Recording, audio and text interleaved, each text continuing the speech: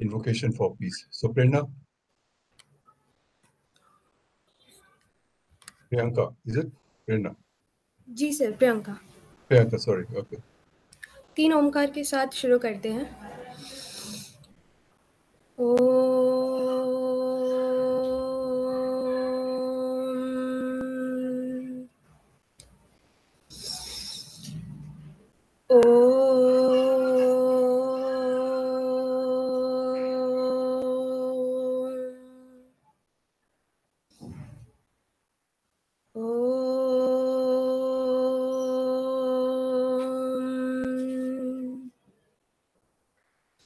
ॐ सहनाववतु सहनौ भुनक्तु सह वीर्यं कर्वावहे तेजस्विनावदीतुमस्तु मा विद्विषावहे ॐ शान्ति शान्ति शान्तिः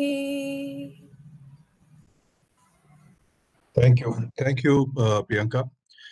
So uh, let me uh, begin with a warm welcome to uh, all of you uh, to this uh, uh, lecture today by Ambassador Venkatesh uh, Varma. I want to thank uh, uh, Venkatesh for being with us today and sharing his views on Russia-Ukraine war which is going on as we speak. It is perhaps the arguably the most uh, serious uh, geopolitical crisis that uh, the world has uh, faced uh, since the uh, end of the Cold War. And what its ramifications and implications are uh, in the near, uh, medium, and long-term future is a matter of uh, conjecture and guess at this moment. But there is no doubt that uh, the impact is going to be uh, uh, very serious. Uh, the world order is uh, likely to be uh, restructured. Uh, new power equations, uh, which were already emerging uh, in the last uh, 20 years or so, uh, these uh, will uh, be uh, catalyzed. And uh, the crisis that is uh, the war that is happening today is uh, in the heart of Europe. And this is also perhaps uh, the uh, NATO's uh, biggest uh, uh, security challenge. Uh, during the Cold War, they didn't have to face Russia or Soviet Union at that time militarily. But now uh, the war is uh, right uh, at the peripheries of NATO. The reasons for this have been discussed and I think are well known to the people who have gathered here today, but uh, surely Ambassador Venkatesh Varma uh, would be uh, dwelling upon them. India is also very deeply impacted. There are both direct and indirect consequences for our security. Uh, there are uh, secondary benefits as well, uh, secondary implications as well, particularly playing through the e- economy and also uh, the disruption of supply chains, etc. Uh, there is also this uh, whole issue of the regional impacts, which will ripple through. And there is also this question of the impact on Russia itself, Russia-China relations, uh, the uh, relationship between um, the US and Russia, the future of Russia, future of Putin. I think there are many, many uh, questions of that nature which have arisen. And at this uh, point, when the uh, war is just about uh, in the initial stages, uh, we can only uh, speculate and guess. At the same time, I think there are also implications for the nature of warfare itself. What kind of a war is it? Of course, there have been wars and wars, and people have analyzed them. But this seems to be a, far more comprehensive war, what we may call the hybrid war. So, what exactly does it mean, and uh, how is it playing out? So, I think there are many questions of that nature, uh, which uh, Ambassador Venkatesh Varma will uh, perhaps uh, uh, dwell upon. Uh, briefly, uh, uh, in, I would like to introduce uh, Ambassador Venkatesh Varma. he is one of our very bright diplomats, a very efficient, well-known diplomats Uh, who has uh, who till recently was uh, our ambassador Russia, and he retired a few months ago. So he's very fresh uh, from uh, uh, from his dealings with the top Russian leadership and also Russian people. So he has insights. He has the advantage of the that insights which many of us do not have. that is not the only quality uh, Ambassador Venkatesh has. He has uh, uh, been uh, associated uh, with the disarmament issues and multilateral issues for uh, decades as a part of his career in the Indian Foreign Service. he was our ambassador to permanent representative to the Conference on Disarmament at Geneva, where he has dealt with the disarmament issues quite intimately. So he's very familiar with international security issues. He was also uh, GS disarmament, and in that capacity, he uh, was in charge of India's uh, uh disarmament uh, policy. Uh, he has also been involved with the civil nuclear cooperation that India has forged over the last several years. So he has intimate knowledge about that. Uh, so we're uh, most grateful to Ambassador Venkatesh Varma for uh, agreeing to our invitation to uh, be with us today at this Vimarsh uh, uh, forum. And thank you very much, Venkatesh, and we look forward to your talk. So you could perhaps speak for about 45, 50 minutes and maybe then take some questions. Uh, this is an open forum, so uh, there are many people who would be interested from the general public and maybe even media who would be interested in uh, uh, listening to uh, you. And I also want to thank some very eminent people who have today come to listen to you. And I don't want to name all of them. Some of them are already visible. Uh, but I also see uh, Ambassador Savitri Kunadi. I also saw her. Uh, she's also there. Uh, this is, uh, I think, probably one of the few times that she is here. So welcome, uh, madam. And then Ambassador Binay Pradhan from Tanzania has also joined us. thank you, Binay. And of course, uh, there are very other regulars, General Vij is there, Ravi Ambassador Rajagopalan, and many others. So uh, thank you very much for being with us. So now I request uh, Ambassador Venkatesh Varma to kindly share his views. So, good evening, and uh, thank you very much for uh, giving me this opportunity to to speak at uh, this forum uh, of the this very prestigious forum run by the uh, Vivekananda International Foundation. And so, to you, sir, particularly, uh, thank you very much. We go back a very long time. I was a very junior officer in Moscow when you were looking after the Russia desk in in Delhi and uh, you know from then on you've been uh, uh, your your professionalism has always been an inspiration to us and i'd like to thank all our senior colleagues who've joined us today and of course my my partner uh, from Moscow, who was the deputy chief of mission uh, for for three years, uh, Binay Pradhan, who's who's joining us. you know, once you get Russia into your blood, it's very difficult to take it out. You know, so I think that's the reason is so, um, firstly, I think it's uh, it's not an easy task uh, in terms of clarity to speak about an ongoing war, and I think the the Shanti mantra that was uh, read out at the beginning of this is a, reminder of the responsibility that bears on all of us uh, who deal with uh, matters relating to war. That we should take it with the utmost responsibility and uh, and clarity of mind.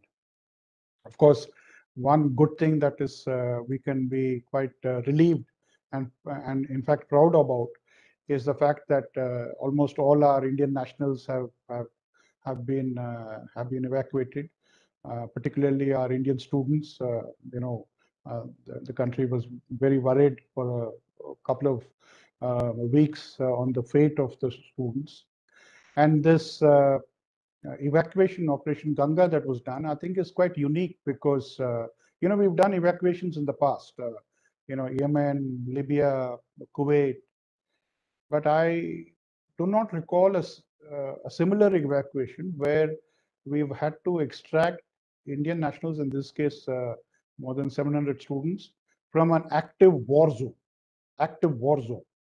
Uh, you know, even in Libya, we, we got them out of uh, areas which were on the periphery of an active conflict zone. Uh, in Yemen, uh, we extracted them of a, of a general conflict zone, but uh, Sumy, where this uh, 700 kids were, were, was an active. and I think it was possible only because that we were able to influence Russian military operations at the highest level.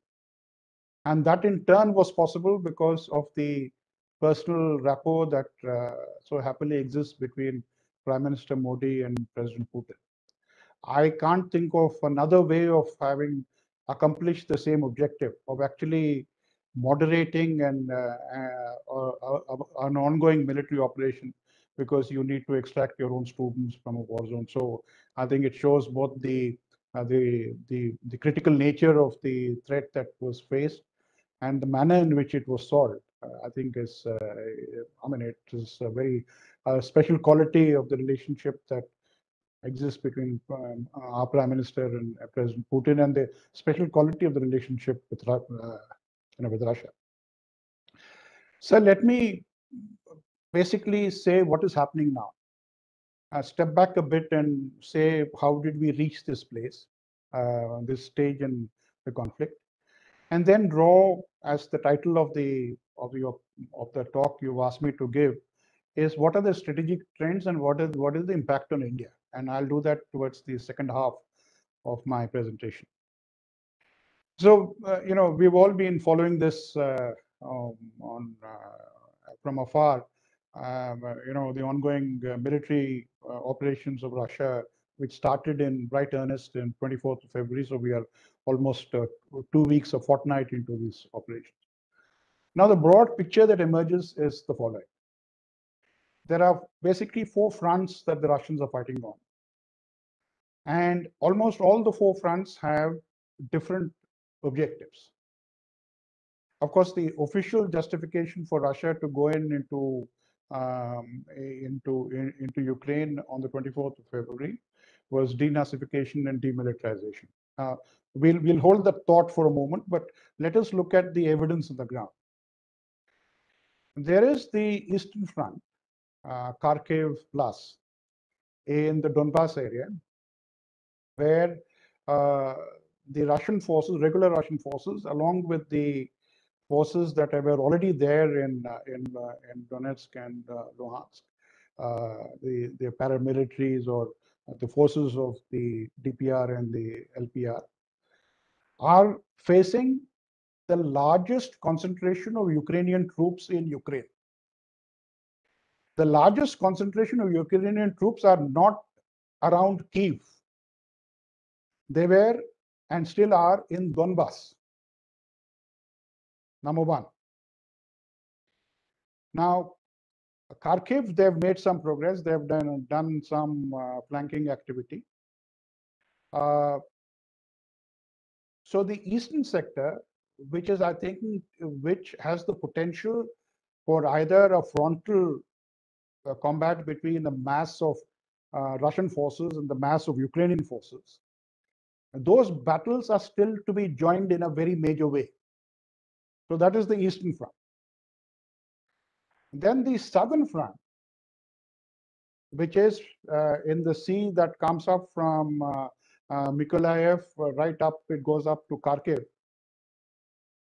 Zaporizhzhia, and it goes up. The Russians have very specific military objectives. And we might ask if the West makes it out to be that the idea is to get to Kiev and dispose of, uh, do a regime change in, in Kiev, why is it that the Russians are doing so much in the south from Crimea upwards?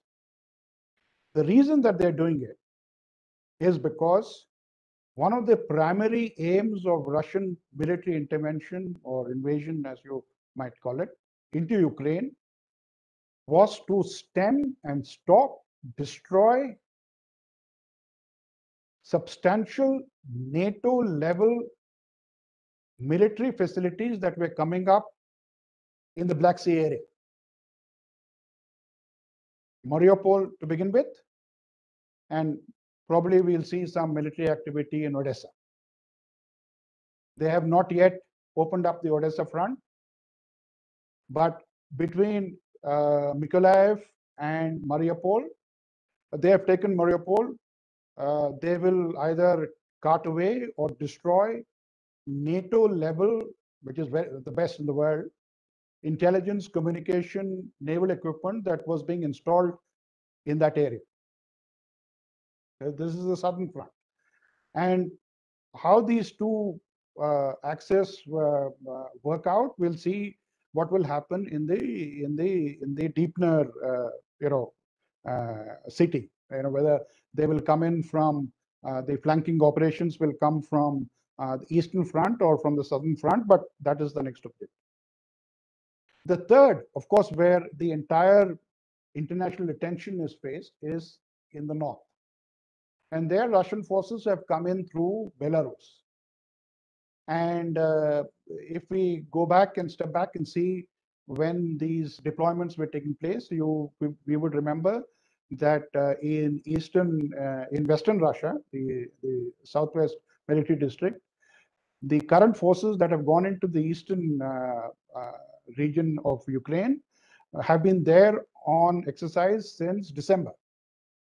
But the Russian forces which have gone into Kiev have come through Belarus, you know, fairly, uh, fairly, you know, they came around mid-January or so.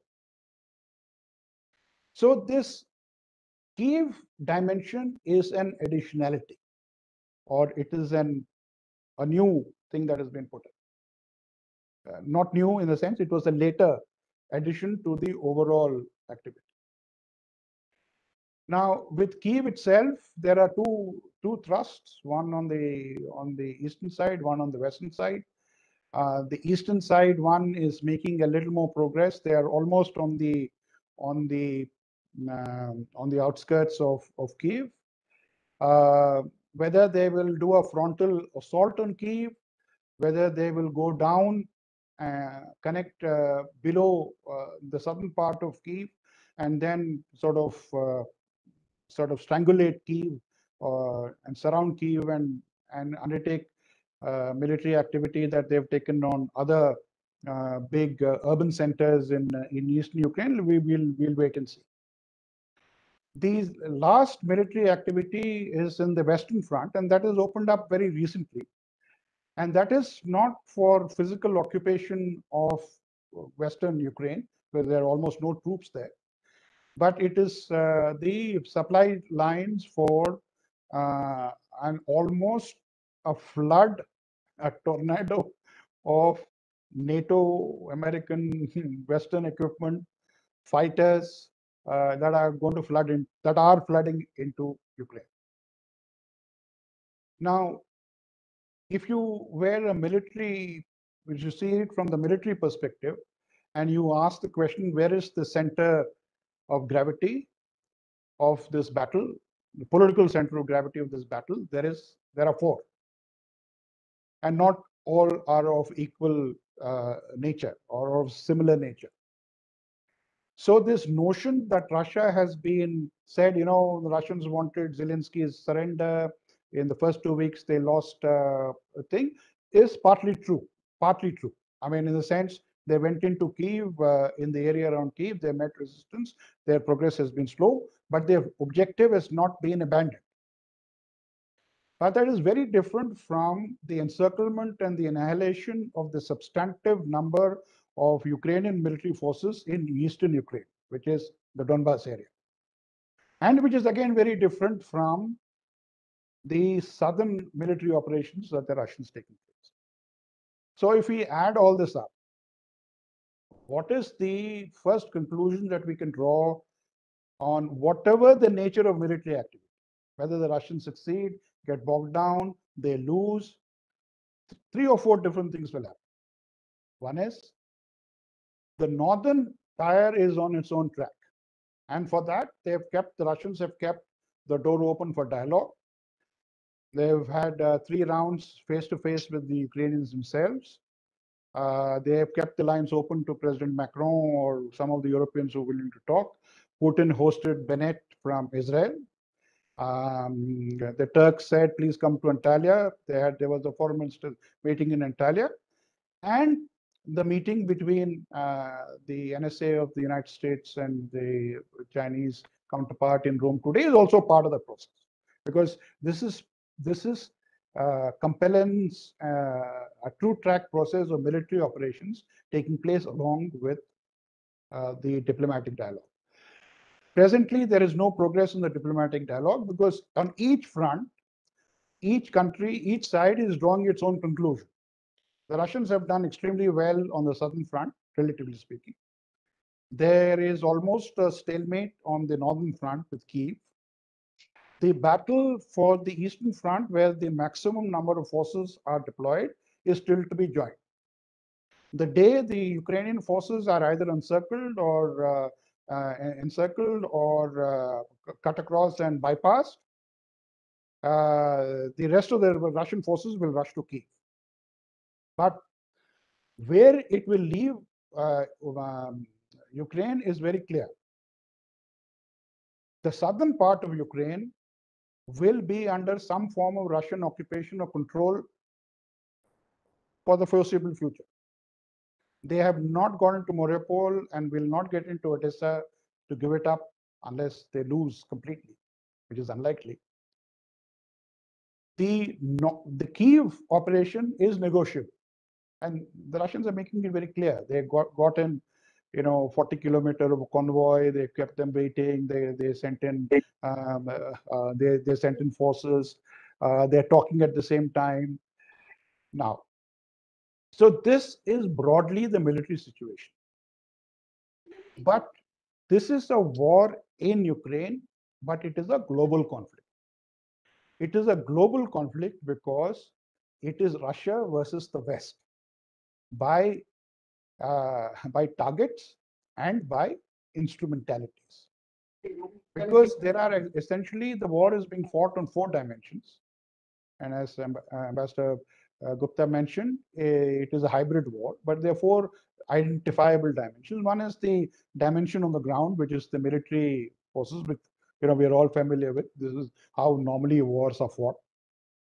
But there is an information war dimension uh, which is global, uh, and which the Ukrainians are winning hands down, mm, probably 9 1 on 10 0. Uh, eh, last, firstly, the Russians are very bad at information war. Secondly, I don't think they care.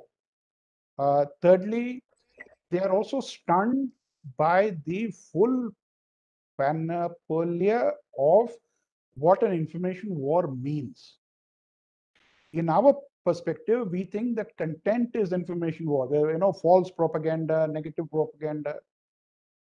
The current war has shown that everybody is called to participate in an information war, which is all the news channels, the the media, uh, uh, the social media, YouTube, uh, Twitter, everyone.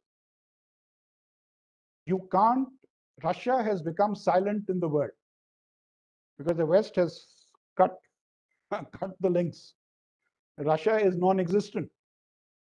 And according to the war that is being fought on Twitter um, and on social media and TikTok and all, you know, the, the Ukrainians have won and it's just a matter of sending the Russians packing home. It's a very, very important dimension. The second, the third dimension is cyber warfare there have been some skirmishes on both sides, but the important uh, lesson that we can draw presently, conclusion we can draw, is that neither side has drawn out the big firepower on the cyber front. They've done a little bit on banks, they've done a little bit on websites, they've done a little bit on media, but the big disruptive force has uh, has still not come. And both sides, uh, you know, both the United States and Russia are hugely um, you know, very powerful in this dimension, but they have been held back. Either eh, they have been held back for the right timing, or they're being held back because of good defenses, which is unlikely because, you know, as of today, uh, the good uh, deterrence for cyber is good offense because there are no substantial defense that, uh, you know, that neither. The fourth, of course, is the economic damage, which, of course, has absolutely stunned the world. The economic dimension is the weaponization of finance and globalization. Now, this has been in play for several years. You know, we've seen small Ranji Trophy games uh, of economic uh, um, things with Iran, with uh, North Korea, you know, bits and pieces. We've we've seen the the power of economic sanctions. But this is not Ranji Trophy. This is not Duleep Trophy. This is complete test match, top class test match. And what has happened here is that there is, of course, an asymmetry in, uh, in capabilities and vulnerabilities. And the vulnerable part is the Russian Federation, which has, uh, like India, 30 years of engagement with, the, with globalization and has acquired over a period of time all the strengths and weaknesses of globalization, which is external dependence, you know, uh, faith in uh, international uh, structures and things like that. You know, we'll we'll discuss that a little later.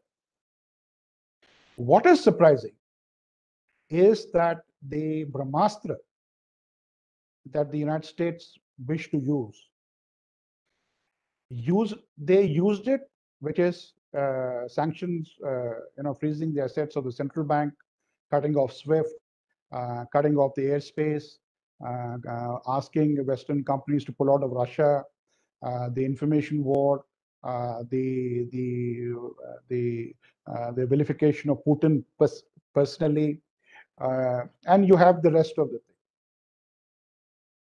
Now, this Brahmastra has been used very early.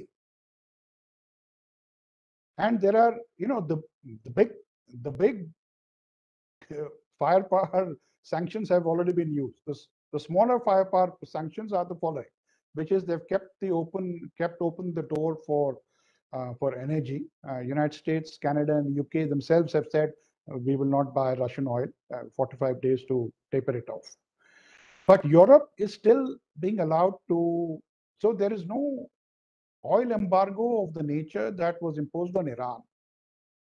But of course, doing business with Russia in the energy field is far more complicated now than it was, say, uh, say two weeks two weeks ago. But what they have also unleashed with the specific purpose of destabilization of the Russian economic and political system, economic system to the in the expectation that the political system will also unravel. Every day that the two pincers around Kiev do not are not able to enter Kiev, and every day Zelensky gets, he lives another day, and his survivability increases. Every day that these sanctions do not create social and political instability in Russia, President Putin gets more and more space because over a period of time, it is of declining utility. I mean, you you you you you hit them hard first. So it is quite interesting why the Americans chose not to escalate gradually into higher and higher forms of economic coercion, but they went right up to the top in the almost in the first go itself. Now that can be based on the calculation that uh, uh, you know this is a blow that that Russia cannot take. this is a blow that will set people onto the streets.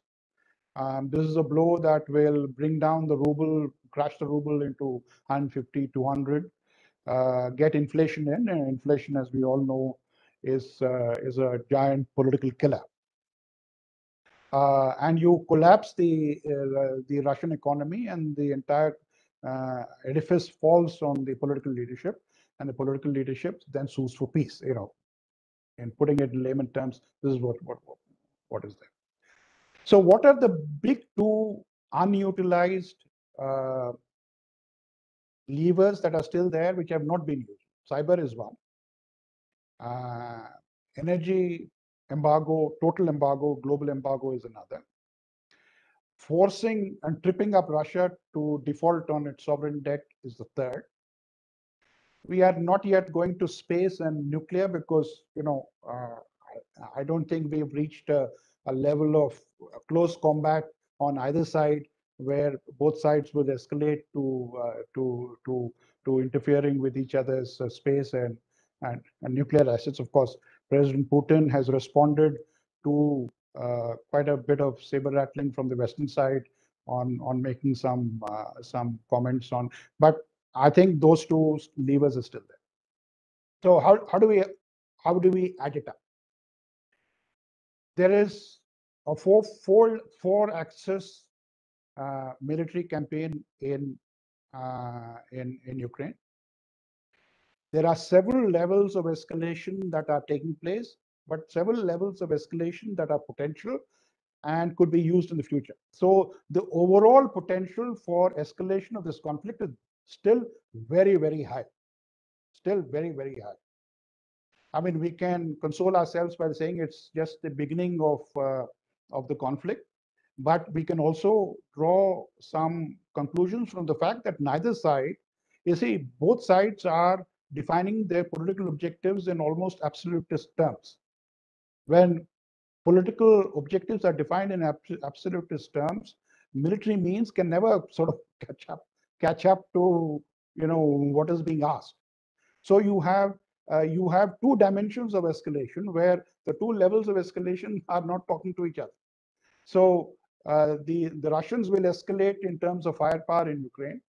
Uh, the Americans will escalate in, you know, giving them Javelin plus uh, things, you know, foreign fighters coming in into Ukraine um, and the rest. I mean, and the Russians will respond. But there is also this larger global confrontation that has now uh, been locked in. I mean, and uh, this locking in of global confrontation, uh, you know, as I wrote in my uh, Economic Times uh, piece, I said it is a conflict which is slowly becoming a crusade. Crusade is where you involve whole societies. You ask everyone to make a sacrifice. You know, it's not just combatants or non-combatants. It's not just people in the field who are fighting. You know, everybody is a warrior. And you see the Western media support on Ukraine. I mean, it is almost the entire West civilization has mobilized to support Ukraine. Now, when you have that level of mobilization, you know, uh, compromises are, uh, you know, become, you know, all the more difficult. You know, it's it's not that they are impossible, but my own sense is that if while the conflict has been fought at various levels and it's a global conflict, the key determining critical factor will of course be the uh, uh the military situation on the on the ground. So let me step back for about a couple of minutes to say how did we reach this, you know, this place and. Uh, you know, uh, uh, Russians and Ukrainians are uh, are close but distinct people. Uh, you know, they are intertwined people.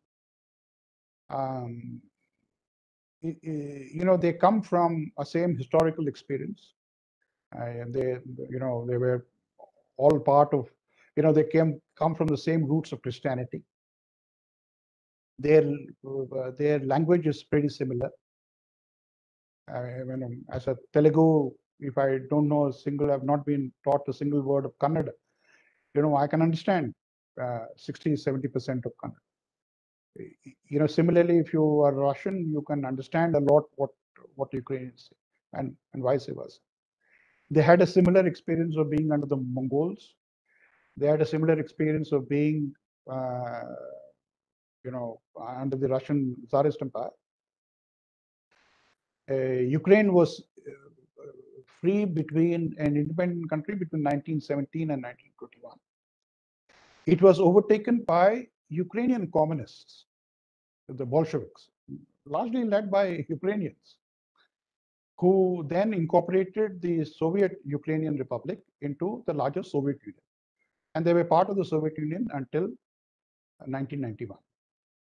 And if you read the dramatic events of that period of how the collapse of the Soviet Union took place, the collapse of the Soviet Union took place not because of war. You know, uh, in history, the redistribution of territory and power has happened almost always through uh, conflict. You know, you have to fight to get what you want. Ukraine became independent, and so did Russia, two big constituents of the Soviet Union, through a drunken conspiracy between uh, President Yeltsin and uh, President Kravchuk, who decided amongst themselves that it was important to get rid of Gorbachev. So the disintegration of the Soviet Union was a joint conspiracy by Russia and Ukraine. And this is the circumstances on which Russia gained independence from the Soviet Union. And Ukraine gained independence from the Soviet Union. And it was always understood that while we will go our separate ways, we will have uh, a common intention to, to work together in a way that you would have your sovereignty and I would have my sovereignty, which is Russia and Ukraine. You know, so much is made about the 1994 uh, Budapest Memorandum. I mean, it is all very well for Ukrainians to say today, you know, first of all, the nuclear weapons on Ukrainian soil were not Ukrainian national property. Forget it. Even before the Russians could enter into a discussion on that, the Americans would have uh, finished the Ukrainians off. The 1994 Budapest Memorandum was entirely driven by the Americans. They were the keenest to get nuclear weapons out of Ukraine. They got the Russians in and the Brits in as, as co-signatories of the NPT so that the path would be cleared for the indefinite extension of the NPT in 1995 with Ukraine joining as a non-nuclear weapon state. And Ukraine was in no position to negotiate. And forget Ukraine, Russia was in no position to negotiate. If the Americans said at that point of time there will be no nuclear weapons in Ukraine, there will be no nuclear weapons in Ukraine. That was the nature of unipolar American uh, power at that point of time. So the, all this talk of saying, you know, we gave up our nuclear weapons, you know, we are now threatened today is all theory. It doesn't correspond to reality. Now, Ukraine has always been a divided country. A divided country in the sense of Western Ukraine had very strong European orientation and Eastern Ukraine had very strong uh, uh, Russian orientation. Until 2014, the most popular presidents in Ukraine were those presidents who campaigned on a slogan of openness to Europe and openness to Russia. Any president who said that I want to jump and run away and go off into the West got correspondingly less vote. That is true of Yanukovych, who was deposed of in 2014. That is true of President Zelensky. People forget that President Zelensky defeated President Poroshenko with a very wide margin because his original election campaign was that Poroshenko unnecessarily creates trouble with Russia. We need to live with both, with the European Union and with uh, with Russia. And that was his initial, uh, and that was the that was the election campaign on which he won. 2014 was a watershed, February 2014 because while Ukraine's uh, interest in membership of NATO predates 2014, it goes back to 2002. It was always an on and off uh, issue. But the Russians were always aware that the final destination of NATO expansion was Ukraine. It was not Macedonia, it was not Poland, it was not Hungary, it was not Slovenia. These are all extracurricular to get to the real prize of NATO expansion, which is Ukraine. Ambassador Strauss, who was American ambassador in uh, in uh, in Moscow in '91, when you know I was a young second secretary. He wrote in his cables to Washington, and it's there. Uh, they're all released, and it's also there in uh, Mary Sarotte's book. He hit the nail on the head in 91. He said, all this is fine.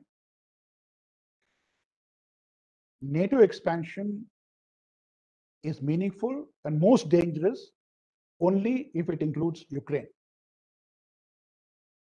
And therefore, it was no surprise that systematically, in five rounds of uh, expansion, uh, NATO was expanded uh, and it came to the doorstep of Ukraine. In 2014, this thing changed. The entire public discourse is on whether to admit NATO or whether to admit Ukraine or not. A complete red herring. The real issue was that there was a change in tactics after 2014 because uh, give, given what the Russians did in Crimea and given the uh, phony war that uh, that permanently descended onto eastern Ukraine and the nature of the government that came in Kiev, which completely left out this notion of having peace with Russia under Poroshenko. There was a systematic campaign of building up Ukrainian forces to NATO level.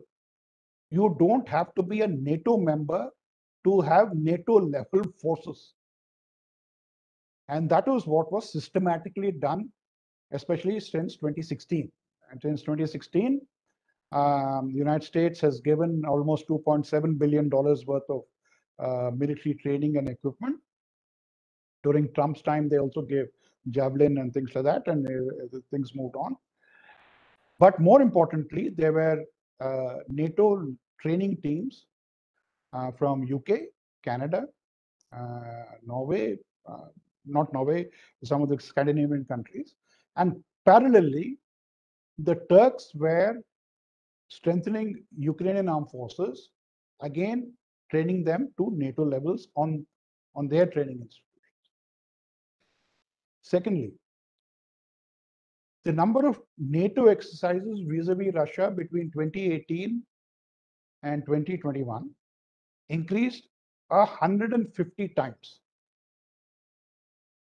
It reached the same level as NATO exercises during the height of the Cold War, which is Reagan's time, you know, 80, 86, 87.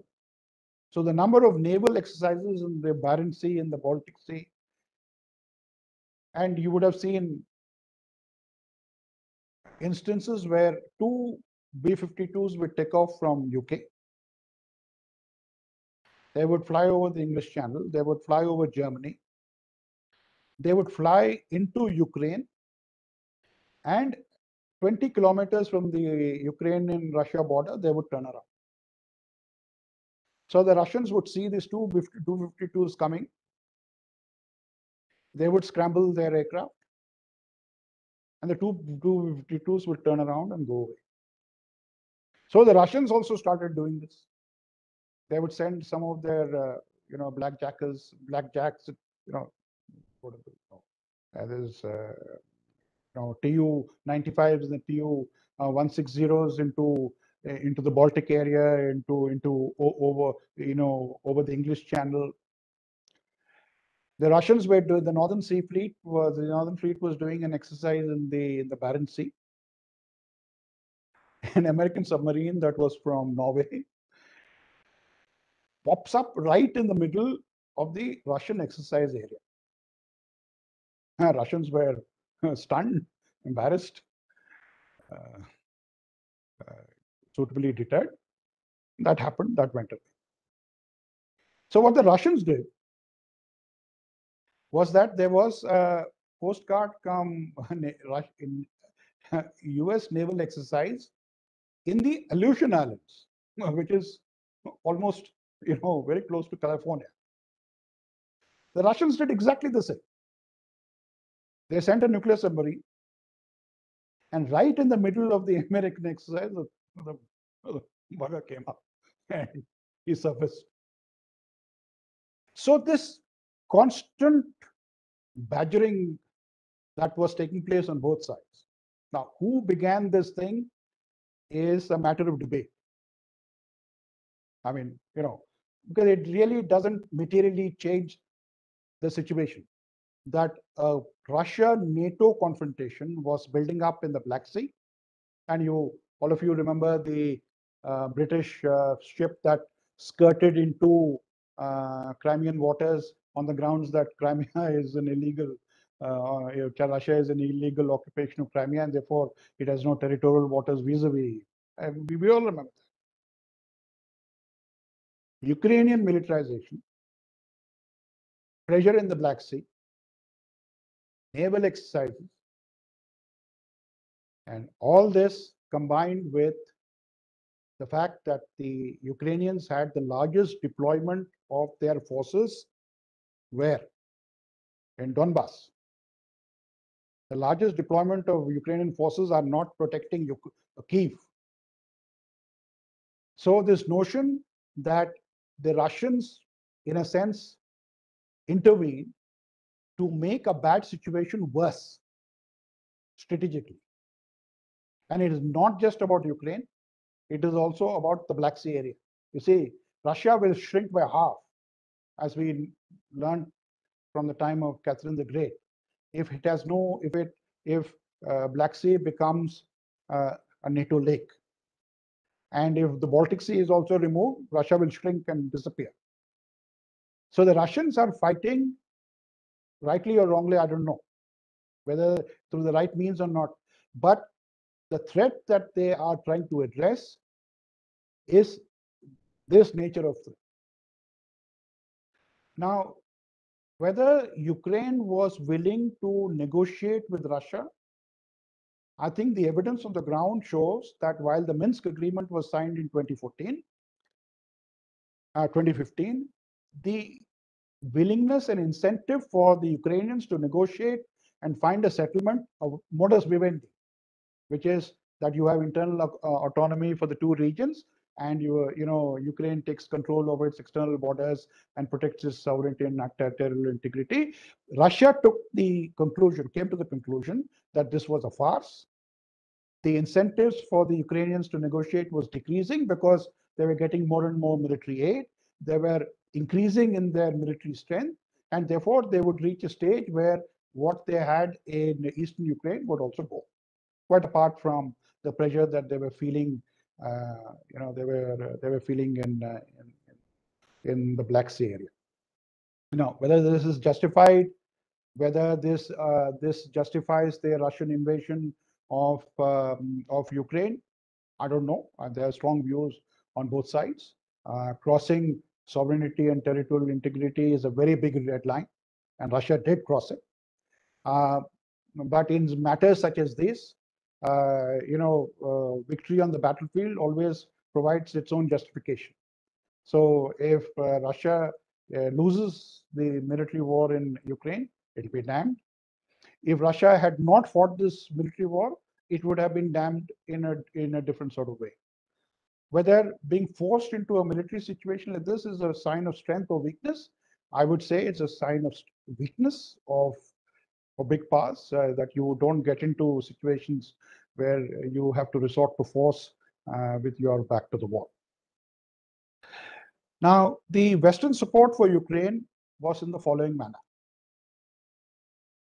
Between the IMF, World Bank, and the EU, Ukraine got $40 billion worth of loans from 2014. 40 billion, all sponsored by the Americans. The Americans gave uh, military assistance of 2.7 billion dollars in uh, between 2017 and and now. And just last two weeks, the U.S. Congress has passed a Uh, uh, Ukraine support bill, which is more than 10 billion dollars. Never has the United States Congress ever passed in a single sitting assistance to a foreign country in terms of economic and military aid of the nature that it has passed for Ukraine. It has not happened with Israel. It has hap not happened with Greece or Turkey. It has not happened with Egypt. And I can't think of any other closer allies. It's not 100% not happened with Pakistan, $10 billion in one go. Over a period of time, you know, Pakistan has got $30 billion uh, worth of support from the United States uh, between uh, 2001 and now, but that is over almost a three decade period. Such is the nature of Western commitment to Ukraine. So this is a fight of a fundamentally geopolitical nature. This is real stuff. This is not a skirmish. This is not a war related to uh, to uh, to only to Ukraine. This has morphed into a conflict between Russia and the West. Let me quickly turn to 10 strategic trends that I will list out, uh, and then I'll conclude, and uh, you know, then we can have a discussion. So the first is uh, the the one the, the most obvious one, uh, which I've been sort of repeating again and again, is not just a war over Ukraine, but it is a global conflict between Russia and the West, and it's acquiring uh, dimensions of almost a crusade. It is the first full-fledged hybrid war of the 21st century, and I think our, um, our, our seniors and our colleagues in the armed forces should study this, and I'm sure they're doing it um, with uh, great uh, attention uh, because it is a hybrid war is a multi-dimensional war. It is not a a hidden war anymore. It's an open war. And it is never confined to the battlefield. The battlefield is now global. So therefore, you, and you have the widest range of technologies. You have uh, drones which travel, fly at 10 kilometers an hour. And the Russians are threatening to use a Zircon missile, which is Mach 10. 10 kilometers to Mach 10. That is the range of equipment that is being brought to brought to bear in uh, the uh, in the current. Uh, then we've discussed cyber, info, economic uh, warfare, space, and uh, and nuclear in the background. Now, this conflict is also third point. The conflict is also involving whole societies. You see, we've had total wars in the past. You know, the German mobilization or the Soviet mobilization in the Second World War were total mobilizations of, of, of, of, a very, uh, very tough and very brutal nature. But these are total mobilizations of a new type, where everybody is expected to be part of this defense of Ukraine,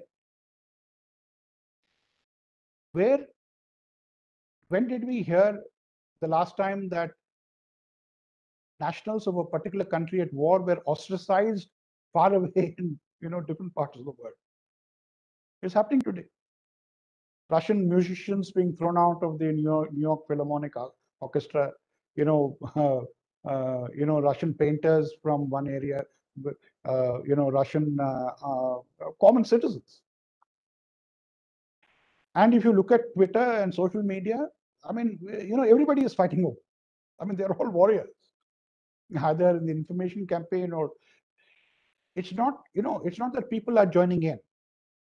It is that there is an expectation that you join, that you define the conflict in such total terms that you know you you know you would uh, be pushing your luck if you if you if you didn't have a a say in this. The fourth is the open, blatant, brutal weaponization of networked interdependence. I mean, uh, there is no shyness about this. Uh, there is no uh, camouflaging. There is no justification. There is uh, a clear show of the formidable nature of how weaponized, how different parts of the globalized network can be weaponized. Uh, banking, financial, social media, uh, companies that have worked in Russia, uh, you know, Exxon Mobil. Let me give you this, and Binay, my good friend, uh, will bear me out. The Sakhalin One investment, which Ambassador Lambah, you know, pioneered, is India's most successful investment abroad ever. Money, what is the money you put in and what is the earnings you take out? There is no investment anywhere close by. ExxonMobil has been the operator of that thing and it also has a share. It works like poetry. I've had the uh, honor and privilege to accompany two of our ministers to that, and you know, Binay accompanied us. It is poetry in action. It is perfect.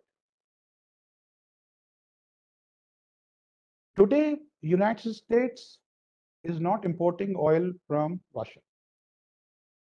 All the European countries are importing oil. And there is no easy substitute. So where is the need for ExxonMobil to withdraw from the Sakhalin one site? When it is profitable, it is long-standing, there are other international partners, and there is no sanction. There is nothing in the sanctions thing that has been issued in Washington asking that uh, oil companies will withdraw. So it's quite amazing how sanctions are not just sanctions, but also voluntary nature and your social standing, commercial standing, your reputational standing is determined by how you relate to this. So you, in a sense, involve in your conflict almost everyone. It's a it's a it's a Hoover dimension of conflict. You know, you sort of suck up everyone that is on the way. The fifth is what we have, you know, beginning to learn. Interdependence is vulnerability. You know, Russians have learned it the uh, the hard way. Uh, as I said, there were two, three big countries that went into globalization uh, in 1991. Um, you know, we are all we are, we are we are the we are the generation that grew up in in in the post 91 thing. Russia is being chopped off and it is realizing that uh, everything from keeping money in the central bank outside your borders and to swift to uh, booking uh, companies for your uh, airline tickets everything is wonderful. You might own an uh, apple phone but you don't control the apple phone. All the apps on the apple phone can disappear uh, you know in a day so ownership is not control, is now wide and clear. It is the corollary of the willingness of the West to weaponize every aspect of interdependence. Which then takes us to the sixth point, we were we are seeing the demise in practical action, not through analysis, of the concept of global commons and a rules-based international order. These were always fuzzy uh, concepts to begin with. But I think the current conflict is doing us the good favor of opening our eyes and showing us the world as it really is. If you had asked us, is SWIFT a good global common? I mean, two months ago, we would have said, of course it is. It's a small company in Belgium that good, does this good service to everyone in the world. Is having a Visa or MasterCard a good go? I mean, the ad for MasterCard said, don't leave home without it. You know, you will be accepted anywhere in the world. you know, uh, getting McDonald's into the fight uh, into is, is a part of global commons. It is not. These are all finally companies, private companies that will listen to the diktat, political diktat of their governments. And if you ask me, rightly so. The fault is not theirs. I think the fault is, uh, you know, people like me who tend to believe that all this was for the common good. So I think it is a good uh, cleanser. You know, it's like an eye eye cleaner, eyeglasses cleaner that is coming up. So rules-based international order, I think the first rule of a rules-based international order is that might is right. And please don't depend on rules-based international order to protect your security interests because there are none. And I think we should exercise a certain amount of uh, restraint in embracing Western concepts without fully understanding their practical meaning. I think this is a good stage, a good time to re to reinvest and think for ourselves, uh, use concepts that are uh, that we understand, that we create and we understand, and we then put out into the world. This easy embrace, sometimes very lazy embrace of concepts that come out from the West of global commons and a rule-based international order, I think we embrace only at our own peril. Inflation. The global dislocation in supply chains, energy, food, fertilizer, shipping, airlines, inflation is around the corner. And this will be uh, this will be very, very major.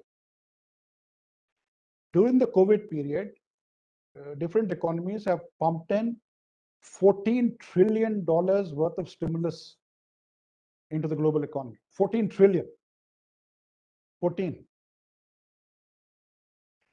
On top of that, we will get uh, a global energy price rise. A global energy price rise also not in terms of uh, taking out 8 8% of Russian oil and 6% of Russian gas outside the global economy. but also the fact that we've not, the world has not invested in uh, new oil and gas resources. So if you want more uh, to produce more to uh, to bring down the price, there are not many fields left. Shale, if it's restarted in, in the US, will take about eight to 10 months to, come on stream. So we are now, and quite apart from Russian and Ukrainian wheat and fertilizers and and uh, neon and palladium and uh, and uh, nickel and aluminum and you know all this supply chain breakages that are going to come we are looking at a giant political tidal wave of inflation that will sweep, sweep across the world. And inflation is a major political killer, as we all know. And countries wanting to take on inflation uh, tend to take measures that will only uh, create a global recession and mass unemployment. So a Ukraine conflict, no longer confined to Ukraine, acquires a conflict between Russia and the West, becomes a crusade, it leads to weaponization of global interdependence with reckless abandon, unleashes forces that were not foreseen or those who unleashed these forces couldn't care less. And the targets and victims of this will, of course, be countries like India.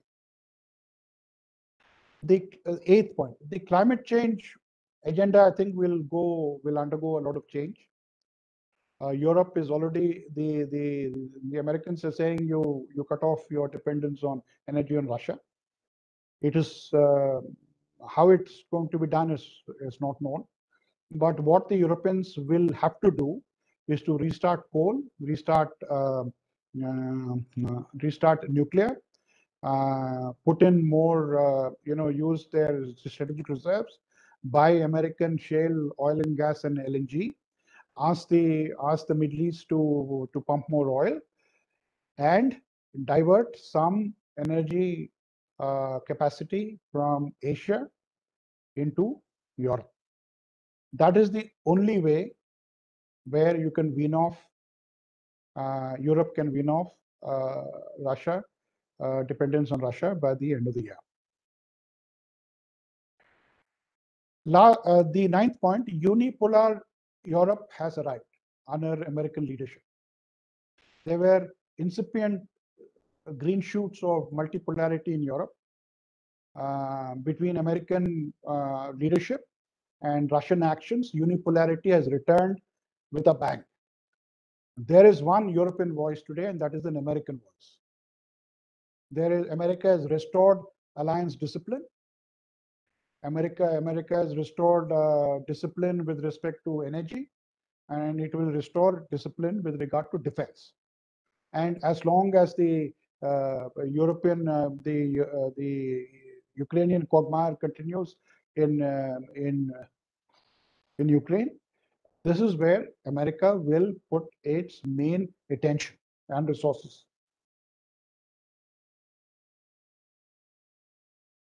On defense,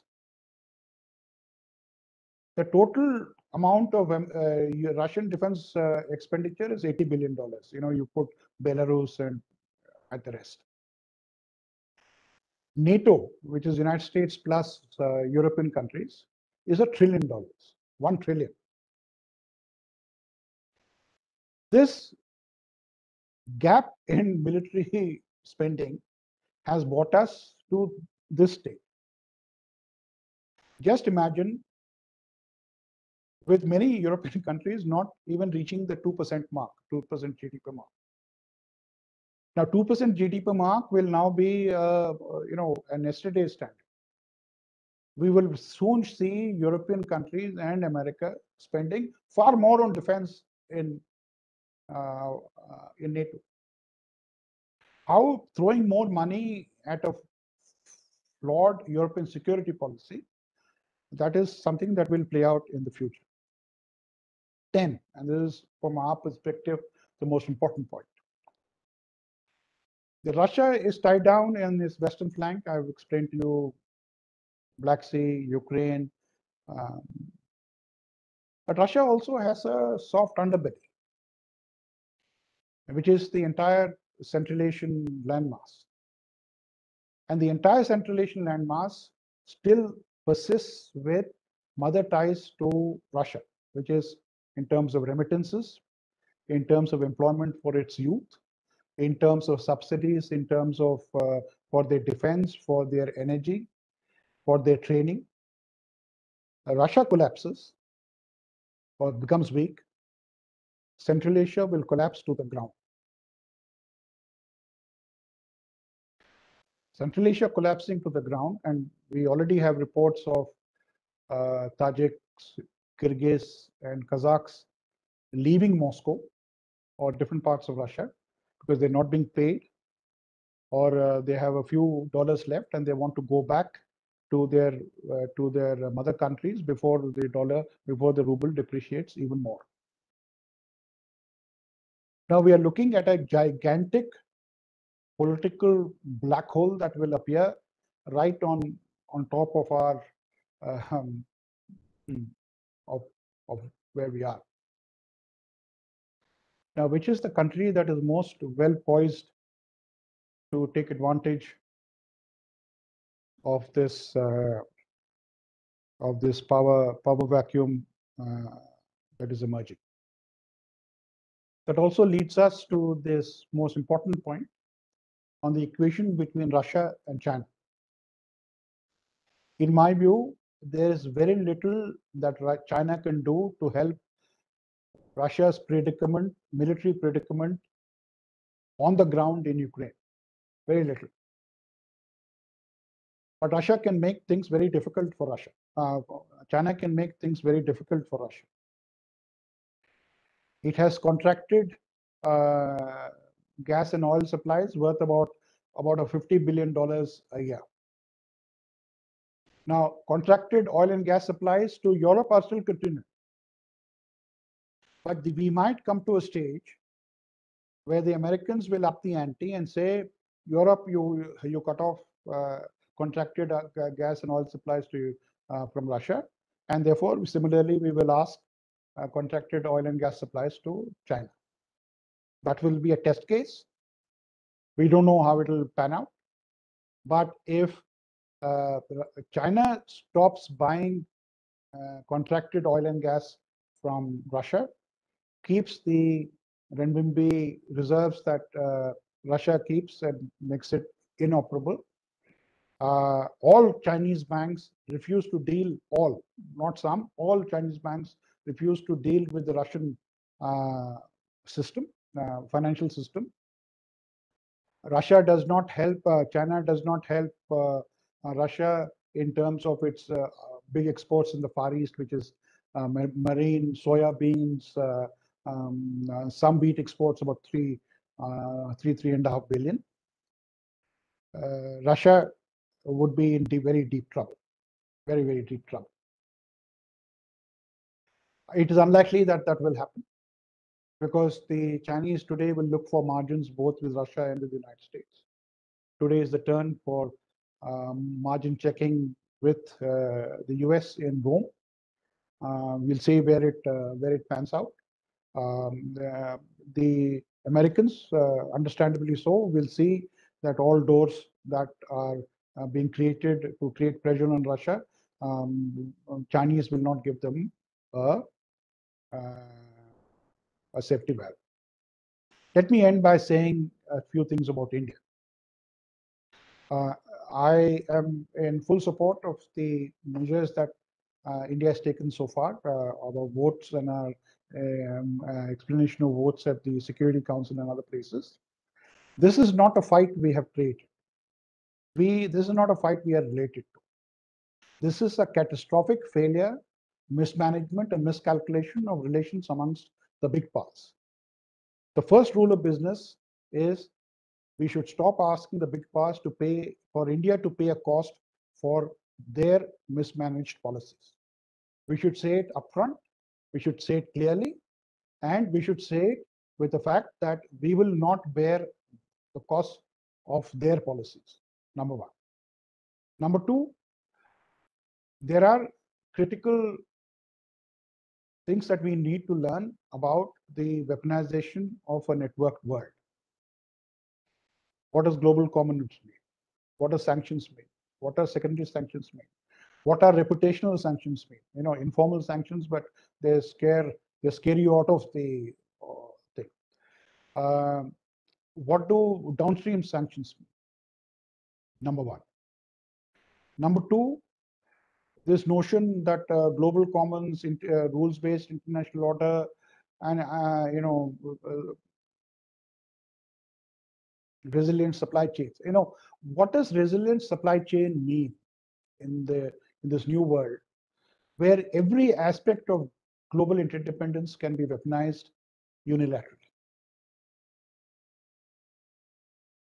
Third, I think we should be careful on the differentiating between the fact that there is no trade embargo, but also be careful on the sort of um, uh, banking mechanisms that we will establish with Russia.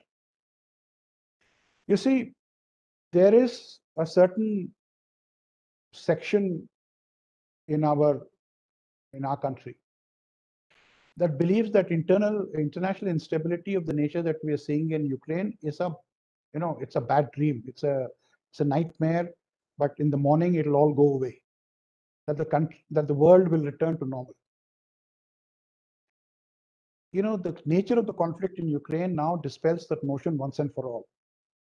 A single geo-economic system has been now being punctured by geopolitics and it is fragmenting into three four uh, three four groups some uh, completely dominant by the dollar some partially with the dollar some non-dollar some something else but these are you know these are moving groups and we should be present in every group you know we are a growing country we have aspirations for ourselves. We want to have the largest, we have want to have the connections with all the growth centers in the world. They may be small, large, very large. I mean, it's like asking Dhoni or uh, uh, Kohli to bat only on the offside. If you say that you will only deal with one part of the world, you know, where will the runs come? You know, the runs will come if we bat across all round the wicket. We will take the singles, we will take the sixes, we'll take the fours. Across, you know, front drive, back drive, snake, uh, leg glance, everything. We should have the freedom to do what is in our interest. Now, sanctions will always come with um, uh, at the ground level with organized crime to subvert, sub, sub, sub, subvert sanctions, and at a higher level, lobbies who will give you exemptions. You know, we should be careful on how we play this game, but where sanctions are not direct, we should interpret those rules for our benefit. And therefore, I'm absolutely delighted that the government has taken the view that if cheap Russian oil is available on the high seas, oil is a fungible commodity oil is flowing into Europe, that we would explore the possibilities of, of protecting our interests. I, I think that is an extremely good way to go. 50% of the Russian pharmaceutical market is, is used by Europeans. The Europeans are closing shop and going home. We should be upfront and say that we will take up and help uh, Russia, but also take up the market where we are equally good organic and inorganic chemicals, automotive parts, um, uh, uh, machinery tools. You know the you know the list can go on. Uh, you know for diamonds. Now, from behalf of the government, I think we need a clear perception that we should assess this new troubled world in our own interests. We should also say that we should give confidence to our uh, business community to to be courageous first of all uh, you know don't lose heart and uh, faith so quickly we are not interested in in, in transgressing sanctions but we should explore possibilities of uh, promoting our own cultural uh, commercial interest because this is now going to be the new normal this is how the world is going to be the world if you wait for the world to come back to normal it's not going to happen the Chinese will do their own deals. Uh, the Europeans will do their own deals. Uh, the Southeast Asians will do their own deals. And we should, we have an advantage with Russia on defense. You see, something that is not often noticed, but in the last couple of years, there had been, in my view, uh, I was there, a genuine understanding on part of Russia that to be there in the future Indian market, a strong Make in India component is necessary. It is no longer optional. This current problems that we are having between Russia and the West is an opportunity that should increase this moment. We don't today have a plan, even a plan to replace our T90 tanks. T90 tanks will be with us until 2050. Some spare part support for T90 tanks is inevitable. What little spare parts we were getting from Russia, let us transfer those facilities to, to India. Let us have a Make in India component of parts. Now, the legal, political infrastructure has already been put. Nothing needs to be done. It was, it's already been done. What we require is a little bit of handholding, uh, a concerted push, because the global circumstances have changed that actually Make in India can actually rise because the it is not only good policy, it is not only India's intention. And lastly, I think uh, we should resist the temptation to join the, the group to ostracize Russia. We are not in the business of ostracizing anyone. Uh, we remember the people who didn't ostracize us. The first famine of independent India was in 1951. We went with a begging bowl to the West to give us food grains. It is Stalin's Russia, which gave us food grains in 1951. Uh, similarly, when no one gave us uh, fighter jets, is the, the MiG-21s came to us. Our, uh, you know, let's not forget our pharma, oil, uh, steel industries. But let's also not the Russians forget that in 1996 we helped them out. Um, we helped them out with uh, uh, the Sukhoi 30 deal, which saved the the, the Sukhoi industry. And let's also not forget that amongst the ambassadors who were inv invited to visit Kashmir after we in introduced Article 370. I was told in Moscow there's no need to invite the Russian ambassador because you don't need to convince us about your policy in Kashmir. India, Russia is fully with with, uh, with, with India. And on 370, we were told that it is not only India's right uh, uh, to have the 370 amendment, but also it is constitutionally completely valid, an internal matter of India. Russia has no questions. So please don't ask us to join other ambassadors who have questions. We are not in that group. So we go a long way and we will have to go a long way. This is a global confrontation that will take us well into several decades of the future. No ostracization. We don't believe in ostracization. We we don't we we don't do that to others, and we will not do do this to others, especially with Russia. So on that uh, note, uh, sir, let me uh, stop. I've been a little more than I should have spoken, but uh, I'll be happy to answer questions. No, Venkat, thank you very much. Uh, we welcome uh, your detailed uh, presentation. I think you have underlined 10 key trends and there would be several sub-trends to each of those trends and that kind of covers the uh, state of the world uh, today. And I think it's uh, very, very useful the way you have uh, uh, um, analyzed the implications of this uh, conflict, which is not just a, a, war, but as you said, it's one of the most important geopolitical, a fundamental conflict that is now overtaken the world. And I think I quite enjoyed listening to your description of uh, how the world has moved uh, since 1991. Uh, so you had uh, the unipolarity, and then you had uh, uh, flirtations with multipolarity, and now unipolarity in some another way in which Europe is unipolar under US guidance.